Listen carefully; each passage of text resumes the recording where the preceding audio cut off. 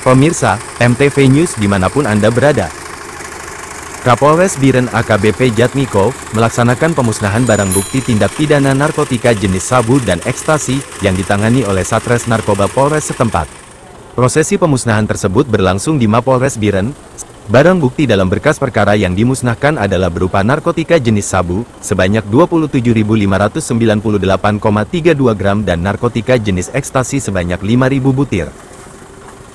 Berikut hasil pengungkapan Satres Narkoba Nomor, LPA, tanggal 3 Januari tahun 2024, SPKT Satres Narkoba Polres Biren, Polda Aceh, tanggal 8 Januari tahun 2024, yaitu 27.598, 32 gram narkotika jenis sabu dan 5.000 butir narkotika jenis ekstasi, dengan jumlah tersangka sebanyak satu orang.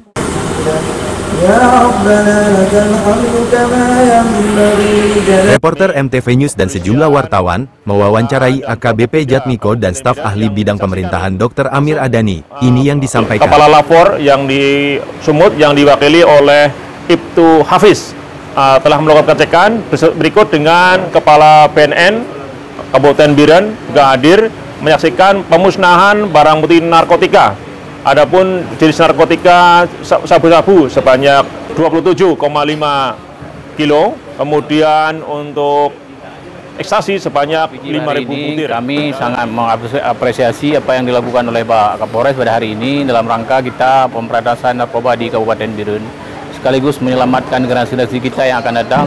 Mudah-mudahan ini akan menjadi bagian daripada yang tak terpisahkan dari rangkaian kegiatan kerjasama antara pemerintah Kabupaten Birun dan dengan kepolisian dan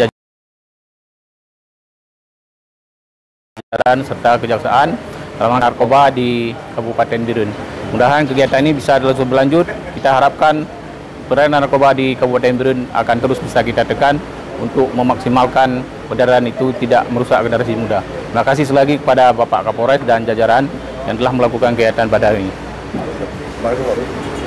Hari ini hari Senin, tanggal 25 Maret, sekitar pimpin pemusnahan barang bukti narkotika jenis uh, sabu-sabu uh, sebanyak uh, 27,5 kilo Kemudian ekstasi sebanyak 5 Adapun tata cara pelaksanaan pemusnahan barang bukti yaitu narkotika jenis sabu dihancurkan dengan cara dimasukkan ke dalam mesin penggiling semen, molen, memakai air dan port X, sedangkan narkotika jenis pil ekstasi dihancurkan dengan cara dimasukkan ke dalam mesin blender memakai air dan dihancurkan.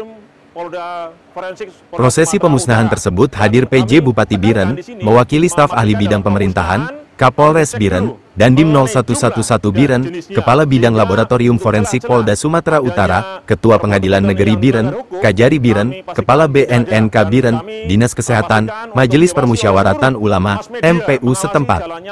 Demikian yang dapat disampaikan Ketua Pelaksana Pemusnahan Barang Bukti Jenis Sabu dan Pil Ekstasi hasil pengungkapan Satres Narkoba Polres Biren. Dari Biren, Wardi Has melaporkan.